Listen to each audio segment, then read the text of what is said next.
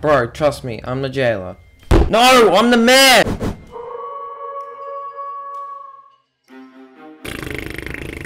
Hey, What? I'll be the negative parts of your review. I love when people hate me. What? I'll be a new character. So you're basically me, but black. No! I'm the darkness. It's Halloween. I'm Town of Salem is a game a lot of you probably have not heard of, a game of deception, mystery, and murder, as quoted from the website. The game is free to play if you're curious, however, a version can be bought on Steam, as well as web premium and mobile premium versions. Those last three only being there to support the paid DLC pack, the Coven expansion. Now the game plays with 15 players online trying to get their team to win. Parties for friends also provided. It's great that you can do this, but it may be kind of boring for that friend who dies in the first minute of the game. Emo, please. Keep your salty bites out of the review, thank you. Now if you are playing on your own, Or you don't care about your friends. you can leave as soon as you die and you will not be punished for it. However, there are still advantages to staying in the game after you die, which is nice if you want to stick it out with your friend or something. The base game centralizes around two main teams, the town and the mafia. The members of each team identified with their respective colors, green and red, as well as some neutral roles thrown in for some extra chaos. The town tries to eliminate all non-town members that pose a threat to their survival, the mafia tries to disrupt that and kill everyone except themselves, whether through deception in a trial during the day, Or by murdering them at night. now upon opening up the game and selecting play, the game displays 3 normal modes, 2 custom, and 3 chaos, all of which I will detail. All modes feature a night and day phase, day being a time for players to exchange info gathered at night, suspicions, and to vote against players who they want to see lynched during the judgment phase. The voting consists of a certain amount of players choosing to send another player up to trial, and a defense phase in which the accused can try and prove themselves not guilty. strategy here is to claim you're a town role, because you are one, right? Speaking of which, the roles are where this game truly shines.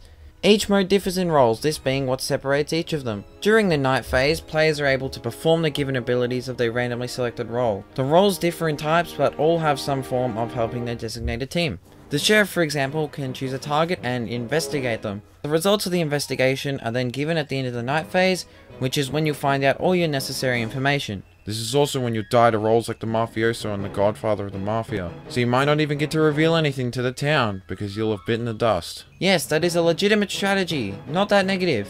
It is if you're dead. Just to recap, the roles are all very exciting and fun to play, except the odd few that can be very boring sometimes if nothing is happening. Now, in terms of the evil side of the roles, they can be either more or less entertaining depending on how you like to play. The evil roles of the Mafia really have to lie and deceive their way through the discussion phase to avoid suspicion, even setting out a fake will of information and pretending to be a fellow townie. Wills are an essential part of the gameplay, thanks Donkness or whatever you're even called, allowing a full page of information regarding your role and what you've discovered.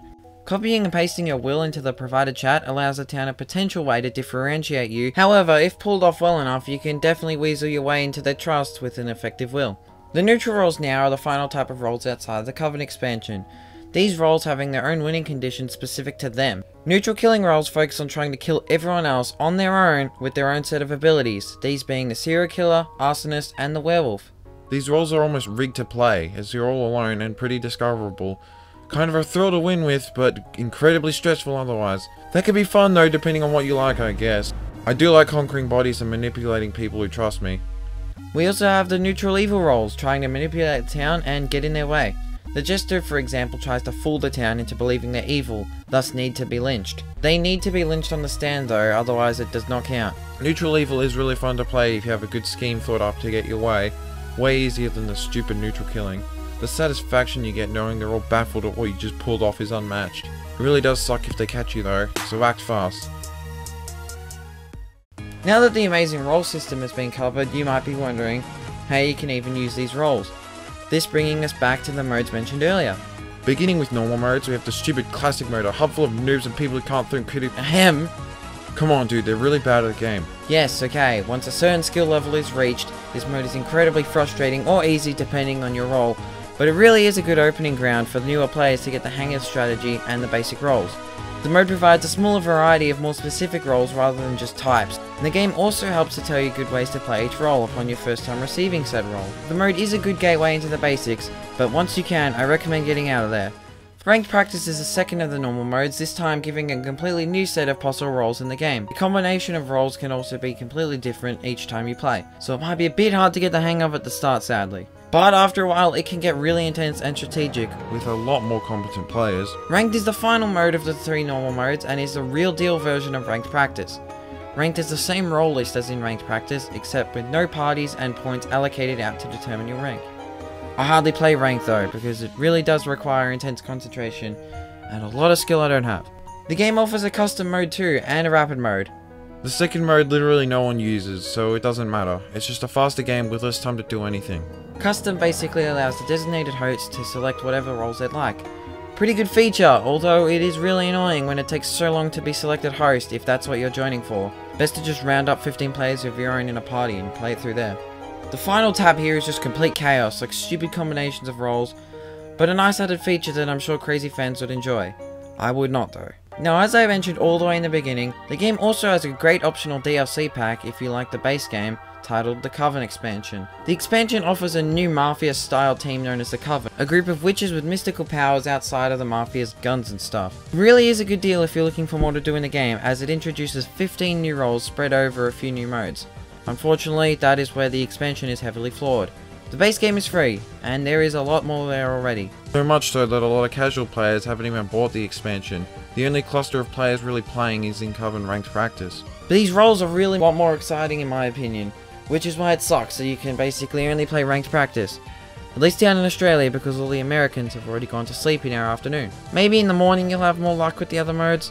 Either way, DLC that is extremely worth it, brought down only by the lack of people you're able to play it with. It isn't that bad of an issue, it's just, it might take you a while. Finally we arrive at the last features, the most prominent being the shop. After whatever game mode, you can earn merit points, the silver coins displayed on the menu, as well as being able to purchase town points, which are the gold ones. Stupid microtransactions. The shop sells various cosmetic items, however the real good stuff is in the scrolls. If you want, you can buy a scroll that highly increases your chance of getting the role specific to the scroll you purchased. These aren't allowed in rank though. So that's Town of Salem. I highly recommend playing it, but refuse to provide a practical rating, so it gets whatever this is. It's good though, I think. After a tremendous selection of roles and variety of modes, great options and ways to play all around, exciting and addictive gameplay, and quite a small but fitting soundtrack to cover the general mood, I'd say to please play this game. It's a unique gem that deserves more attention. Anyway, Skull Troopers, Mum says you can't eat all your candy before bed.